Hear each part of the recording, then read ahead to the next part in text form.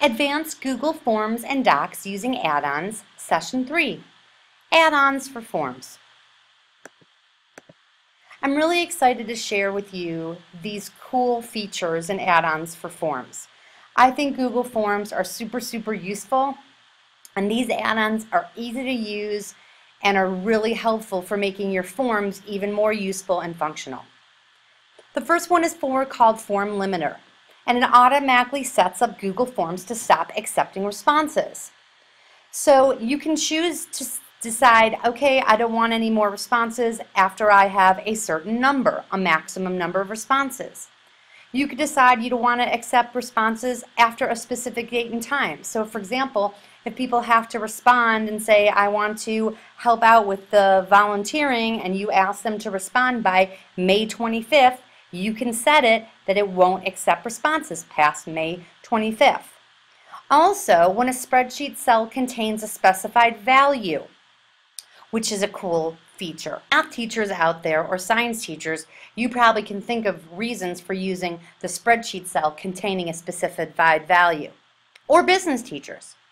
It's great if an assignment has a time limit. Awesome for event registrations if you can only take a certain amount and great for first come first served sign up scenarios like for example conferences. Let's take a look at the tutorial. Sometimes you need to stop accepting submissions automatically. The Form Limiter add-on for forms will help you to do that.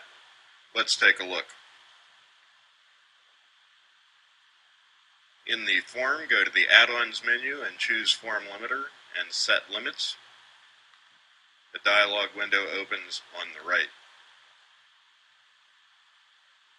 One way to limit responses is to set a date and time to close the form automatically. Pick your date, pick your time, check the box if you want an email message to confirm that the form has been closed, and edit the text to display when the form has been closed. Click on Save and Enable. Another option is to set the maximum number of form responses.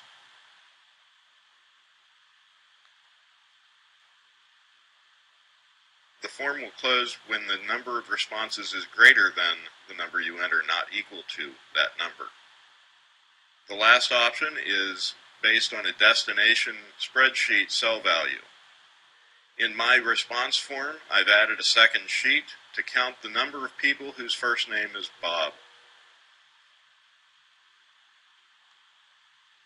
So I'm going to tell Form Limiter where that cell is that knows how many bobs have registered, and I'm going to set a limit of four bobs. When I reach that limit, I'm going to close the form entirely. We can see this in action. Bob submits his registration. Another Bob, Bob Smith Jr., submits his registration. That's a total of four Bobs. That's my limit, so I want to close the registration completely and anyone else trying to register will see that it's now been closed. As the editor of the form, I get an email that tells me that the form has now been closed. Form Limiter lets you limit responses based on date and time, number of responses, or values in your spreadsheet. It's another great add-on from Cloud Labs at New Visions for Public Schools.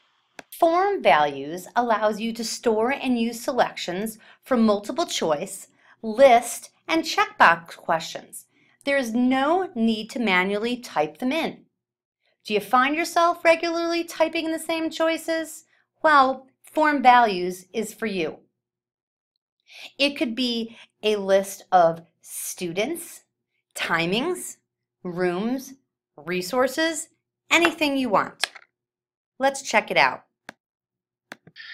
The nice thing about form values is that it allows you to select pre-created list of items uh, for selection. What I mean by that is if you're to create a question that uh, that is a multiple choice, a checkboxes question, or choose from the list question, uh, you can have pre-created uh, items uh, so that you don't have to either retype them or you can create your questions ahead of time and then populate those questions with choices later on.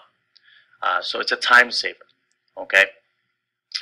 Uh, so let me show you a couple of ways of, uh, of how it works. Uh, first and foremost, so once you download the add-on, um, you can go ahead and use and create choices.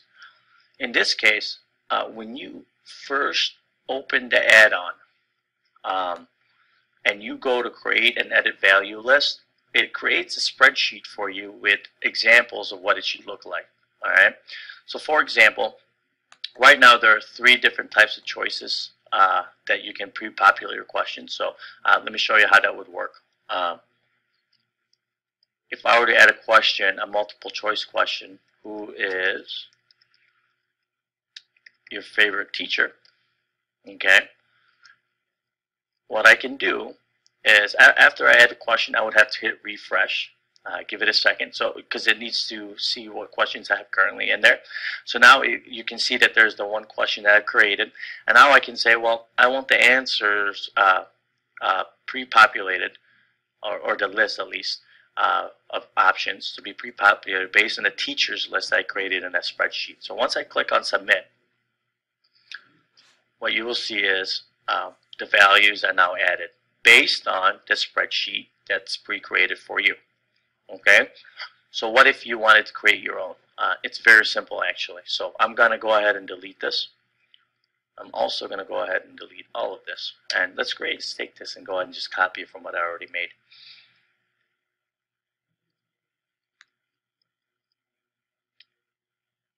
Okay. So now I have three options that I can use uh, as you guys can see it, types of psychology, tech giants, types of economies. Okay, so I'm going to need to ask some questions here. So I'm going to add a multiple choice question. Who is credited for starting, or let's make it better, who started Apple Inc. Okay, I'm going to make another question. Uh, let's see, what are some other values that I have? Okay. Identify the type of economy that best describes U.S. Okay, and then the next one let's just ask something about psychology. Okay. Identify the type of psychology that focuses on human interaction. Okay, so now that I have all the questions, I do not have any options for any of those questions thus far. Uh, in order to add it, again, you need to refresh so that it identifies the questions that you have uh, created. Uh, so for instance, right now, who started Apple? I'm going to add tech giants as the options for that. Okay, uh, for the next question, identify the type of economy that describes the U.S., uh, types of economies. And then for the third question, which is identify the types of psychology that focuses on human interaction, I'm going to make sure that I pick types of psychology.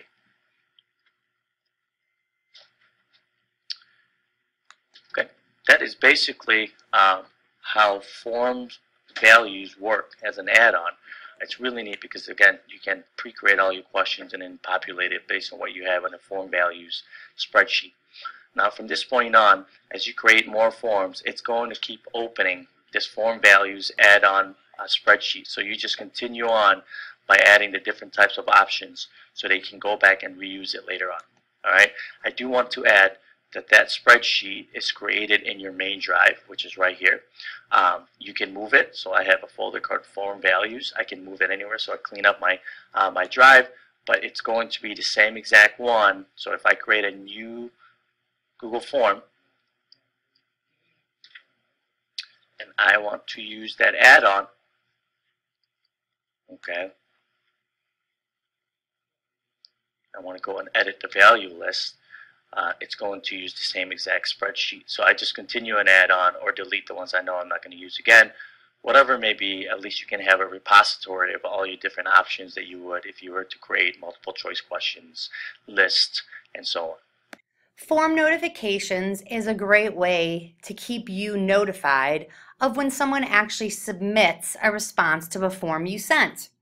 If you've ever sent out a form, you know you have to go back and check and see in the responses to see if anybody responded. Well, Form Notifications solves this problem for you.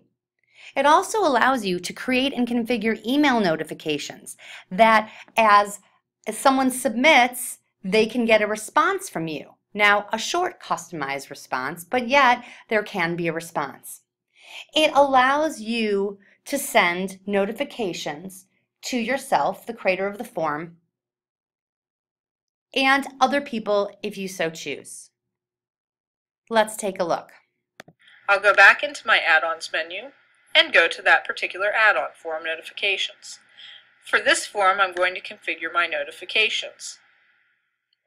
I do want it to notify me when respondents answer. I'm going to choose the web uh, address that I want to be emailed at. And I actually want to be notified every single time a respondent completes the form. That way I can email them back and address them so that I can meet their needs individually. If you are sending a form out to parents or an entire district staff, you may want to have notifications sent to you after every 100 respondents or so to keep your email from clogging up. That is certainly something that you can play around with depending on the application that you're using your form for. You can go from 1 to 100 to 1,000 respondents. And again, I'm going to choose 1. You can also notify respondents after they've completed the form. It gives you a default, thank you for filling out our form and thank you for responding to our form. This is just a nice way to touch base with those that have taken the time to take your survey or complete your form. Today, I don't want to do that. So simply, I'm getting notified, every one respondent, and I'll get notified to this email address. So I'm going to save these notifications. My settings have been saved. I'm going to view my live form just to test this out and show you.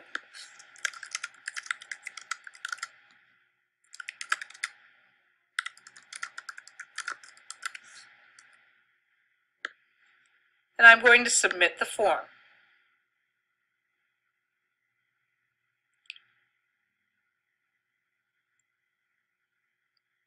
Okay.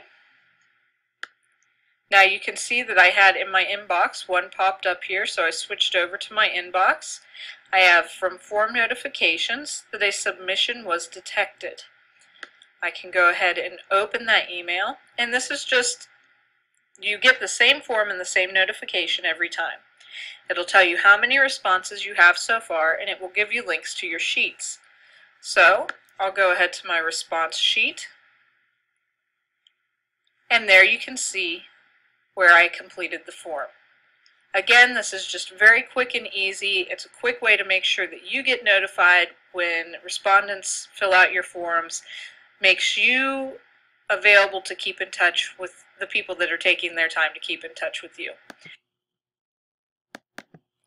Here's another great one, Choice Eliminator. And it does exactly what it sounds like. It allows you to eliminate an option from a multiple choice, list, or checkbox question after someone has submitted a response. So it eliminates choices that have already been chosen by someone else. So it's great for time slots for conferences or volunteering or having students pick topics without doubling up. Let's see Choice Eliminator in action first, then we'll see how it's done. Here, Jean Poole is requesting an appointment. She's going to take that 9.30 time slot, submit the form, and she's done.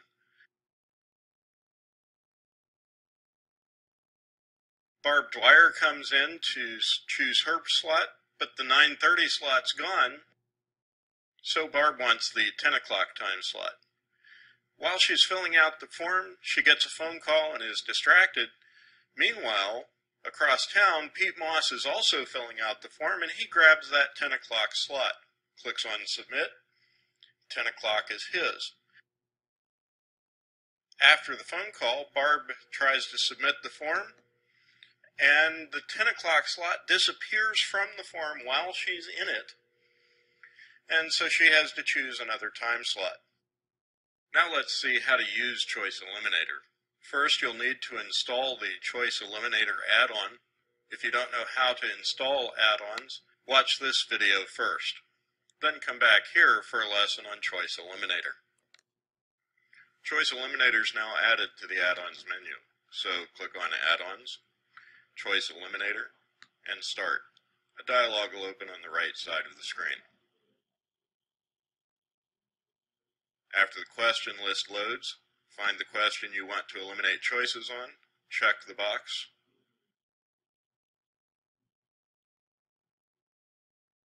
That's it. That's all there is to it. The form's ready to go.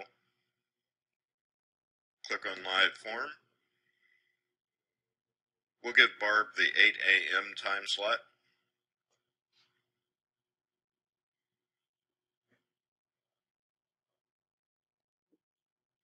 When we go back to look at the form, we'll see that the 8 o'clock time slot has been removed.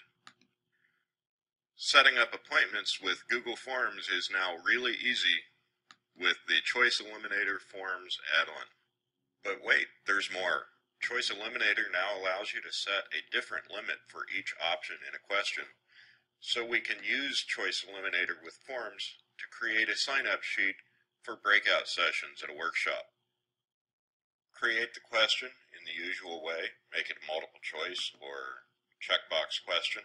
Then go to the Choice Eliminator dialog, find the question Click to expand it. Check the box to eliminate choices. Now click on Choice Options. But look, we forgot to fill in the options for this question. So before we can continue, we'll close the Choice Options dialog, fill in the option list, click on the Refresh button to reload the question, click on choice options again and set the limit we want for each option. Each option's limit can be different. Warren Peace is a pretty popular speaker. We'll put him in a larger room that allows more people to attend. Click on Save, and our form is now ready to use. Each option in the choice will be eliminated when it reaches its own specified limit. Using the Choice Eliminator Forms add-on, it's easy to create sign-up sheets for appointments and workshops. And that's the end of part one of Advanced Google Docs and Forms using add-ons for forms, session three. Please continue and watch the part two video. Do not forget to review the tutorials on the links doc and you cannot complete the assignment until part two is viewed, just like in session two.